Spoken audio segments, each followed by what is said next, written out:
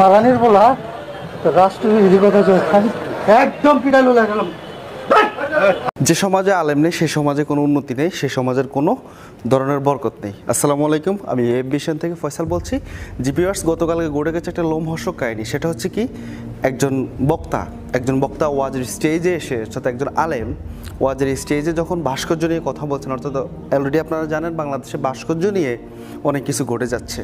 কার ভাস্কর্য, কারা বসাচ্ছে ভাস্কর্য, সেটা আমরা অলরেডি জানি রাইট এই ভাস্কর্য নিয়ে যখন এই হুজুর কথা বলছেন, ঠিক তখনই একটা বেজন্মা বলতে পারি, বেয়াদব বলতে পারি, এবং একটা দুশ্চরিত্রবান বলতে পারি।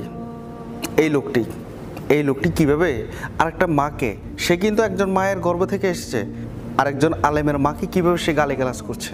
আপনারা তো অলরেডি জানেন যে একজন আলেমের পক্ষে সত্তর জন মুসলমানকে জান্নাতে নেওয়া পসিবল তো এই বেজন বেজন্মাটি এই বেজন বেজন্মাটিকে এখন আপনি যাকে দেখতে পাচ্ছেন, এই বেজন বেজন্মাটি কীভাবে একজন আলেমের কীভাবে গালিগালাজ করলেন? হ্যাঁ অলরেডি তিনি জুতা পেটাও খেয়েছেন, কিন্তু জুতা পেটাই কি শেষ? হয়তো তার এলাকার মানুষ তাকে নিন্দা করবে, হয়তো অনেক মানুষ তাকে ঘৃণা করবে। তো যাই হোক না কেন, এই আলেম কি তার সম্মানটাই আর ফেরত পাবে? এসব বেয়াদপরা কি দেশে দেশপ্রেমিক নাকি দেশদ্রোহী, সেটা আমরা জানি না। এরা কীভাবে আলেম সমাজের বিরুদ্ধে কথা বলে, কীভাবে একজন আলেমের মা বাবাকে নিয়ে কথা বলে, কীভাবে একজন আলেমকে গালিগালাজ করে একটা স্টেজের মধ্যে, হাজার হাজার মানুষের মধ্যে। হাজার হাজার মানুষের মাঝখানে যখন এই আলেম কথা বলছেন, ঠিক তখনই তাকে বিভিন্নভাবে জোর দেখাচ্ছেন তার শরীরে অনেক জোর, সে মায়েরা সাইজ করে দিবে হ্যাঁ? পায়ের টেঙ্গি কেটে দিবে। What language what the hell এইসব বেয়াদবদেরকে ওইখানে পিষে মেরে ফেলা উচিত ছিল। জনতা খেপেছে ঠিকই, কিন্তু জনতার কাছে আমার প্রশ্ন, আপনারা খেপেছেন? ওকে ধরেননি কেন? ওকে ওইখানে তুলুদোনা করেননি কেন? ওকে ওইখানে কেন পিষে মেরে ফেলেননি? এইসব বেয়াদবদের কারণে আজকে আমাদের সমাজ অনেক নোংরা হচ্ছে। এই বেয়াদবগুলোর কাছ থেকে আমাদের ছোট সমাজ আজকে কী শিখছে? ছোটরা কিন্তু বর্তমানে হুজুরদেরকে সালাম করে না, হুজুরদেরকে রেসপেক্ট করে না। কেন করে না জানেন?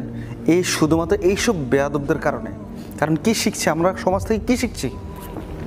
আমাদের বাচ্চা কাচ্চারা আমাদের ছেলেমেয়েরা বা আমাদের ছোট ভাই বোনেরা কি শিখছে?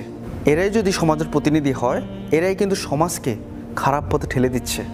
শুধুমাত্র কোনো দলকে সাপোর্ট করবেন না, কোনো দলের সাপোর্ট নিয়ে গাইবেন না। হ্যাঁ আপনি আপনি, আপনার স্বাধীনতা আছে, আপনি একটা দলকে সাপোর্ট করবেন, কিন্তু আপনার কোনো রাইট নেই একজন আলেমকে আপনি এভাবে গালিগালাজ করবেন।